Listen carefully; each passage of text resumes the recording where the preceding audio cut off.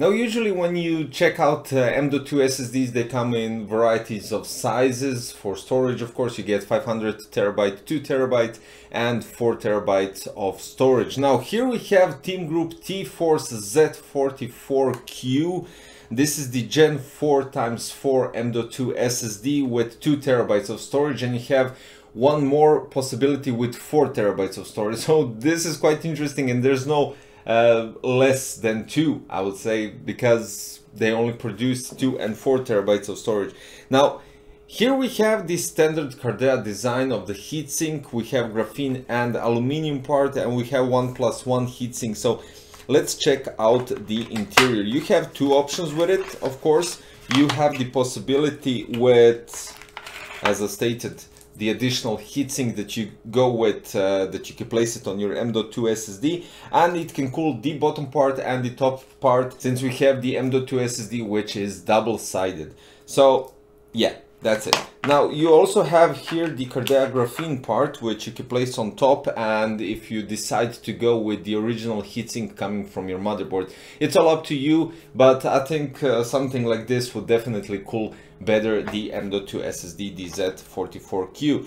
Now here we have the M.2 SSD which has Phison E16 controller on it. Now the speeds on this particular M.2 uh, range up to 5000 uh, megabytes per second in read and 4000 megabytes per second in write. Now when we're talking about some specifications and some features, uh, this SSD adopts QLC flash and supports the latest PCIe Gen 4 x 4 interface, which goes out with the capacity up to 4 terabytes. So you have as already stated, we have here two terabytes and you have four. You have two types of uh, heat spreaders for you to choose. So you have the graphene and the uh, aluminum fin type uh, heat spreader. What they stated is that the graphene reduces the heat by 9% and the uh, aluminum heatsink lowers it down by 50%. Now it also has PLM, which is predictable latency mode, which can effectively uh, reduce latency time and the write loss and improve the uh, QoS uh, of the system. Uh, the use of the latest read recovery level technology can also improve the service life of SSD. Now the operational temperature goes from 0 Celsius degrees to 70 Celsius degrees. Uh, terabytes written on 2 terabyte of storage is 400 and on 4 terabyte is 800.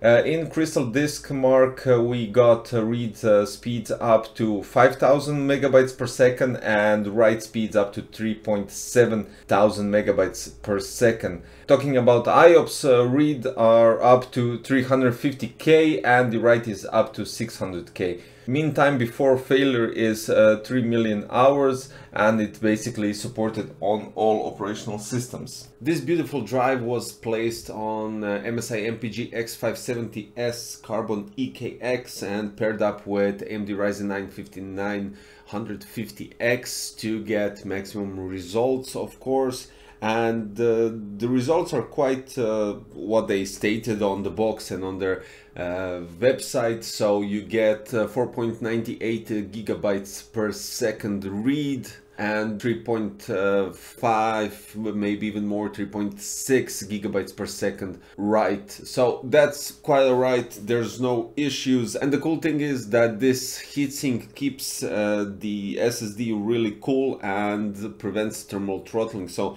this is really nice because the speeds are constant and you don't see variations in speeds uh, during the tests and uh, you won't notice sudden drops uh, which could affect your gaming, your copying files or whatever you're doing on your PC uh, it won't affect the uh, SSD. So yeah, that's really nice. Now, as I stated already in the first part of the video, when we're talking about uh, random read 4K, uh, we have uh, latency up to uh, almost uh, 200 microseconds with IOPS going above uh, 350k and then we have random write 4k which has latency above 600 microseconds and goes around 190k IOPS. This uh, M.2 SSD is the latest uh, QLC M.2 SSD from them and it uh, really does fit nicely in a consumer grade uh, usage with uh,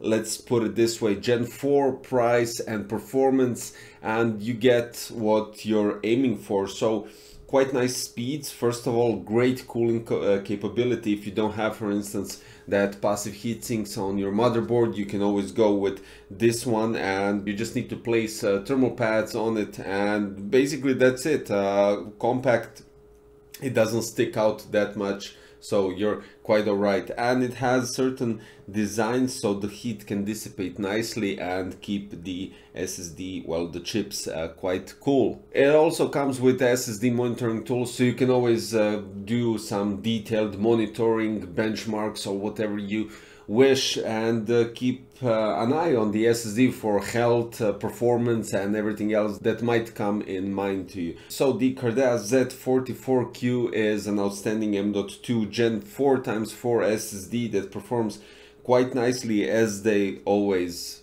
promote on the box and on their website. Uh, you get those speeds on your M.2 SSDs even though some of the uh, speeds are a bit less, I would say about 100 megabytes lower than the advertisement and that is concerning the write. The read is really up there, 5000 uh, megabytes per second, so you don't have to worry about it. But I would say quite nice SSD with quite nice performance and I think you will be quite satisfied if you're aiming for something with large capacity and great speeds for Gen 4 times 4. So uh, all in all, I'll place the links below for the Team Group T-Force Z44, well basically Cardea Z44Q with 2 terabytes. You also have 4 terabytes uh, that you could choose from. And also don't forget to subscribe, click the like button, hit the notification bell for future content so you don't miss any. And hopefully I will see you in another one. Thank you for watching today's video. Bye bye.